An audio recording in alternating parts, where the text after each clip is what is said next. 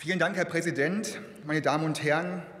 Die Große Koalition nimmt viel Geld in die Hand, aber sie sorgt damit nicht für mehr soziale Gerechtigkeit, für Abrüstung, für die umweltfreundliche Modernisierung unseres Landes.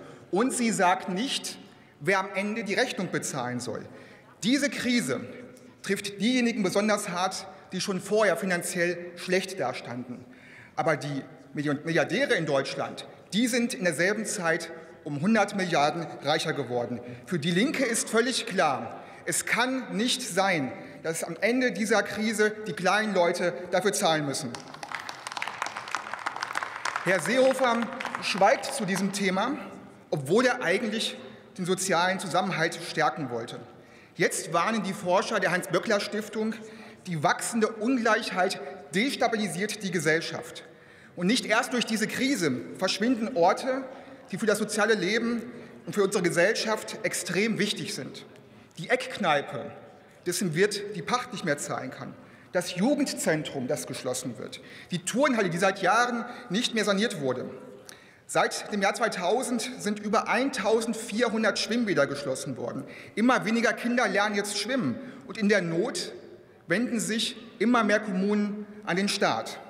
Die Linke macht sich hier im Bundestag seit langem dafür stark, dass das Hilfsprogramm zur Sanierung von kommunalen Jugend-, Kultur- und Sportstätten gestärkt wird.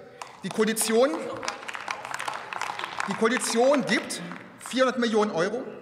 Und jetzt haben aber die Kommunen 2,8 Milliarden Euro beantragt, also siebenmal so viel. Über 1300 Einrichtungen könnten damit saniert werden. Kinder und Jugendliche würden sich freuen, das Handwerk würde gestärkt werden und neue Arbeitsplätze entstehen. Aber nein, die Koalition hat unsere Vorschläge abgelehnt, um mehr Projekte zu finanzieren. Jetzt werden wegen ihnen 1000 Kommunen Absagen erhalten. In dieser Krise gibt die Bundesregierung 13 Milliarden an TUI und Lufthansa, aber für Turnhallen und für Schwimmbäder ist kein Geld da. Das werden wir als Linke niemals akzeptieren. Meine Damen und Herren, Herr Seehofer ist mit dem Versprechen angetreten, für mehr bezahlbaren Wohnraum zu sorgen. Damit ist er kläglich gescheitert. Es fehlen fünf Millionen Sozialwohnungen und der Bestand sinkt und sinkt. Und dann guckt man in den Haushalt und stellt fest, diese Bundesregierung gibt mehr Geld an externe Berater als für den sozialen Wohnungsbau. Das ist doch nicht zu fassen.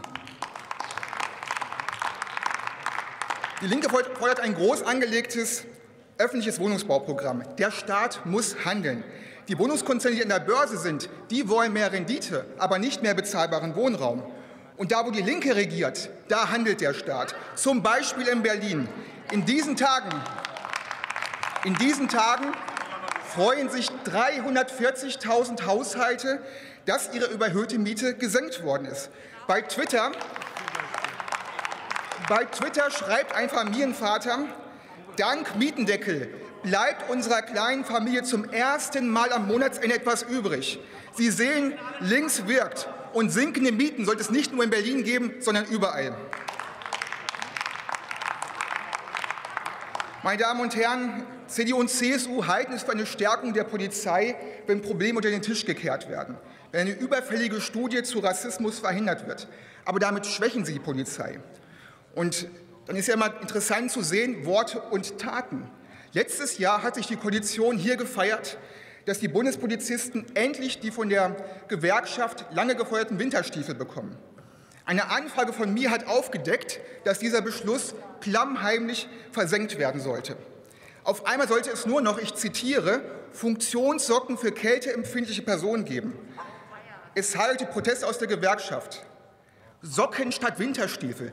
Stellen Sie sich mal vor, was hier los wäre, wenn das ein Innenminister der Linken verantworten müsste.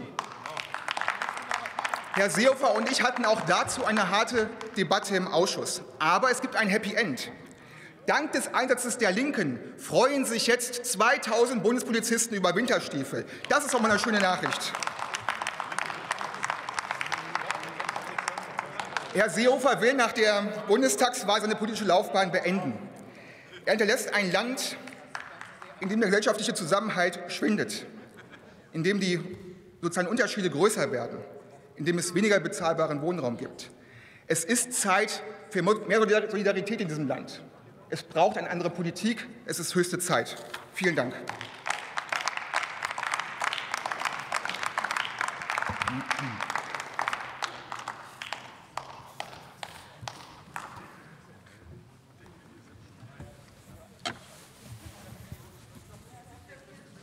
Dr. Tobias Lindner, Bündnis 90 Die Grünen.